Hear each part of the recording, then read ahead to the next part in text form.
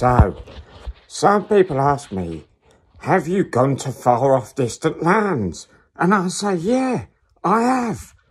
And sometimes I bring back precious elements. Yes. Now I want you to introduce you to my friend, Nanboo Fartoo.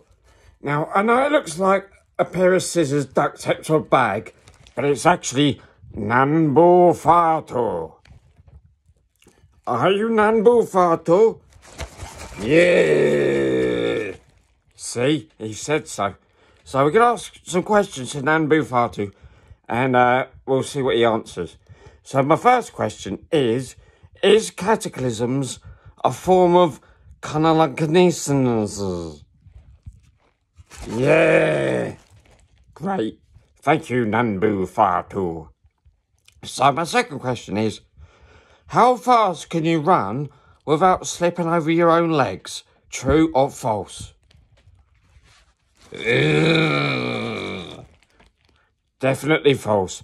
So my third question to Nanboo Fartoo is, can you leave your legs lying around without lying down on the ground? True or false or Henry VIII?